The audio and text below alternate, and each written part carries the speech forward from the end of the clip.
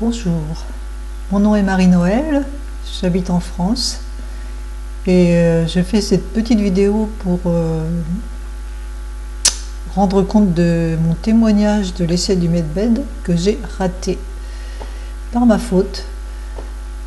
J'ai commencé en fait, j'étais très excitée de faire ça et euh, quand je me suis couchée, j'étais pas du tout dans un état de réceptivité.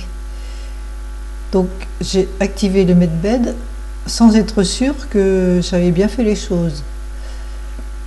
Bon, je suis restée euh, peut-être un quart d'heure, 20 minutes, et je sentais rien, j'étais toujours excitée. Et je me suis dit, peut-être que j'ai mal fait.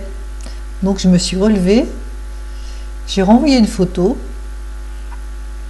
et bon, j'étais dans un tel état, je me suis dit, je ferai ça demain.